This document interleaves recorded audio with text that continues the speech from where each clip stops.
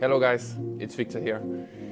I posted a Q&A, a short reel, where you could uh, ask some questions on my Instagram profile here, uh, yeah, about a week ago or something, and I received, let me check, 489 questions.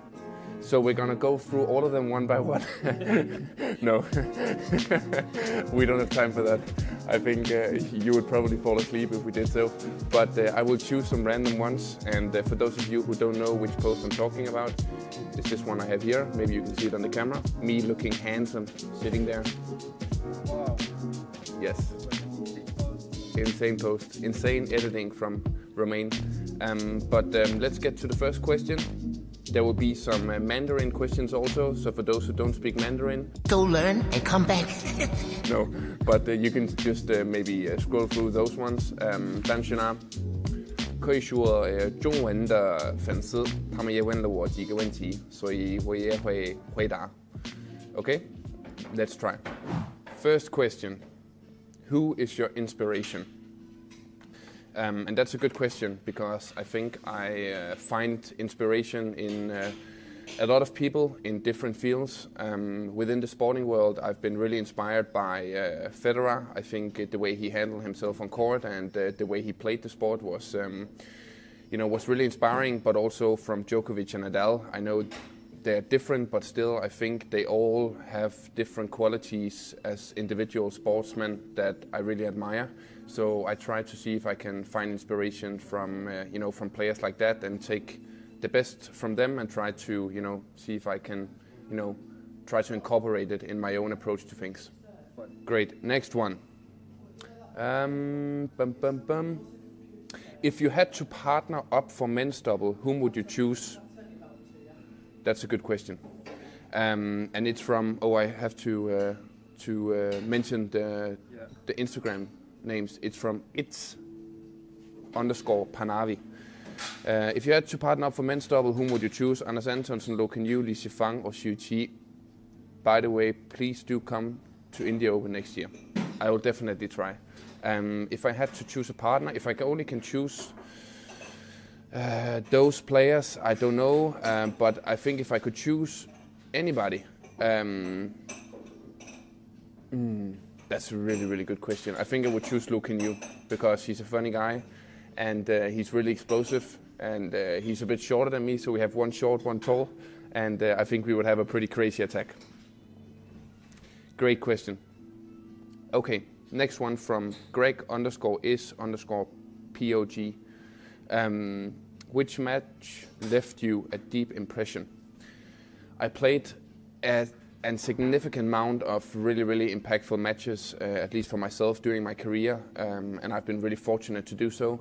But the match which left me with the biggest impression has been the Olympic final when I won against Chen Long, obviously because it was the you know biggest match of my career, um, but also the 2016 uh, back then Super Series finals in Dubai was a match where you know I had been in a lot of finals and I lost all of the finals, but then in 2016 in the final against Tian Houwei from China, I managed to break through that wall, that mental, you know, hurdle I had in finals, and I managed to win. And uh, you know, since then I've been, you know, winning uh, a lot of finals. So that was a really, a really important match for my career, I think. Great question. Let's have a Mandarin question. This is from Ryan.0110, and he asked longer. 明年马来西亚公开赛，你会有粉丝见面吗？Okay, and that means if I will have a meetup in Malaysia next time for the Malaysia Open, and um, I will answer Mandarin. 呃，这个是一个好主意。如果有机会的话，那我很想呃安排一个粉丝的见面会。嗯，所以我会试试吧，我会试试，这个是一个好主意。Okay, next question. Um, Kamle Stubaki asked, "What made you not quit badminton after, even after so many years? Ever thought of retiring soon?" Um, first of all, I'm not thinking about retiring right now at this point. I feel like, you know, as long as my body allows me to practice and perform and be competitive in the biggest tournaments, uh, then I will, of course, keep playing. I'm only 30, Um, even though it's uh, you know I'm getting older, obviously, but still I feel like I have uh, you know a handful of good years in front of me. So I want to play as long as I possibly can while still being competitive in the biggest tournaments. Um, so that's why I haven't quit. I still feel like I have a long road to go within the sport, and uh, I'm still very motivated to uh, to keep going. Yeah. The next one is from Prince underscore Avana 26. What advice can you give to teenagers to become like you? I love your game. First of all, thank you so much for the support and love, everybody. I really do appreciate it. And even though I cannot answer all of the questions, I read all of them and I really appreciate all the good, good questions you have. Um, regarding my advice to teenagers, I think it really, really depends uh, where you are in your career. But my overall biggest advice would be to remember to have fun while you play.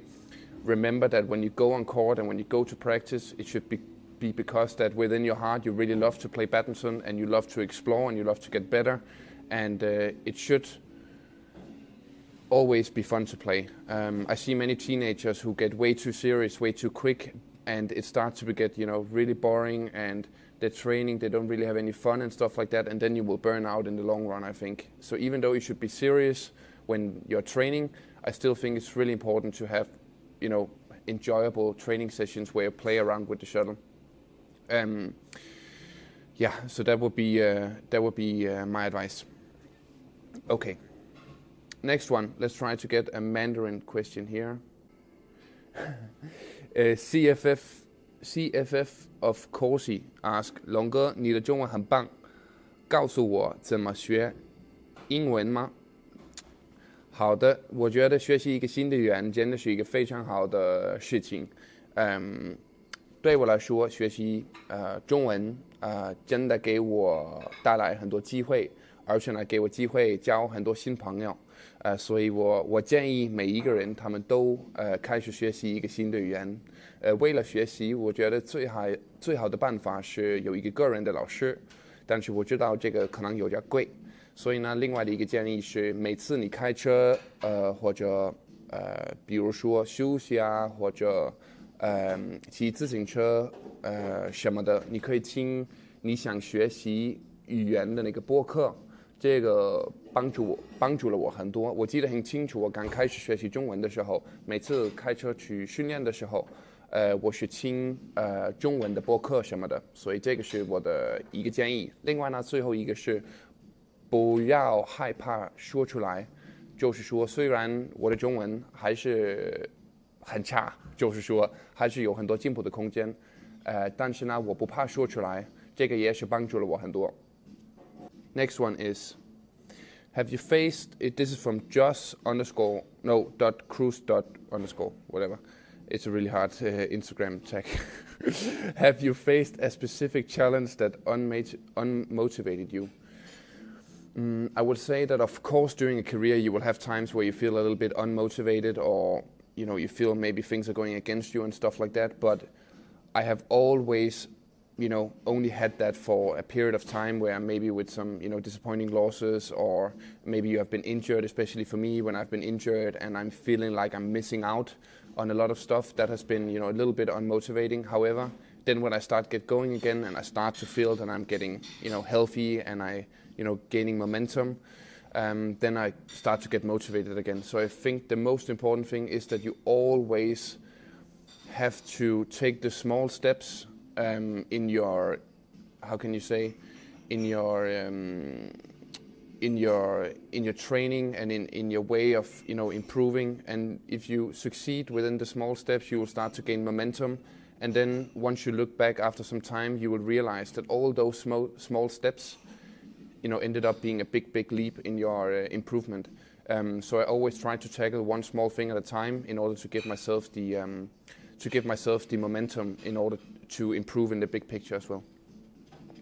Okay. Okay. Next one. It's Mikhail C. ask the secret of your footwork. And there is no secret to my footwork.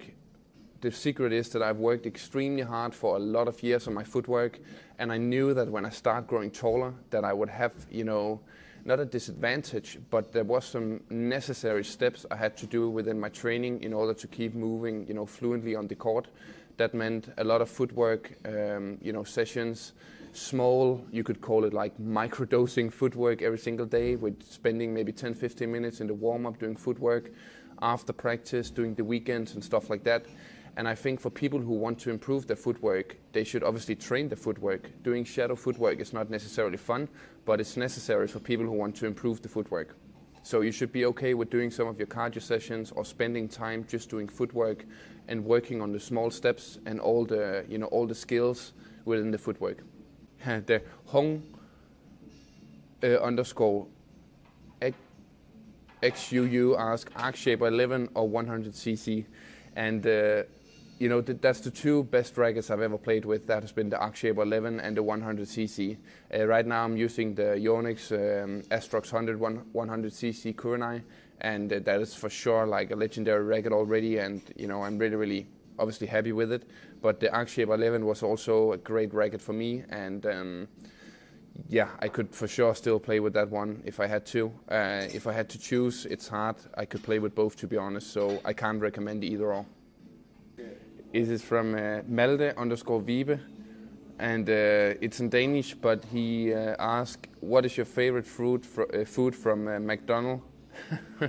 if you ever eat something like that, um, and I actually don't. I can't even remember when I ate McDonald's last time. Uh, but my favorite will probably be um, a Big Mac, um, if I had to choose. Uh, but it's really, really a long time ago. I had uh, I had McDonald's. I don't eat it very, very often, but if there is no food around and I ha really had to go eat something uh, at McDonald's, it would probably be a Big Mac. That was a good question. And then there's another one, food-related question. For your oats, do you eat it with milk, or is it uh, oatmeal made on water, and why? And usually, I always, as you know, you know the hardcore fans who has followed me for, for some years now, they know that I eat oatmeal before every single match. And um, I usually carry like a package of oats with me no matter where I travel. And uh, I always eat it with, um, I make oatmeal with water, and that's basically how I eat it. Um, it's very filling, and I seem to perform really well on it, and I eat it every single day. So it's on water, oatmeal, and I love it. Okay, guys, there has been so many good questions on this post, so I might have to do a part two someday uh, with all these questions. I really do appreciate every single one of them. Thank you so much. You're the best fans ever, and uh, I'm so happy that you're also following this YouTube channel and that, you're so, how can you say, um, that we have so much engagement on my post. I really do appreciate it, and I, you know, yeah, I really appreciate it. So thank you so much. And um, we will try to keep posting, Romain and I, and we will try to do our best thank you once again, and I hope you um, you liked uh, my answers. See you in the next, and uh, don't forget to subscribe and comment and give thumbs up to this video. It helps the channel grow, and it helps us keep this channel growing. So uh, thank you so much, and uh, see you in the next one.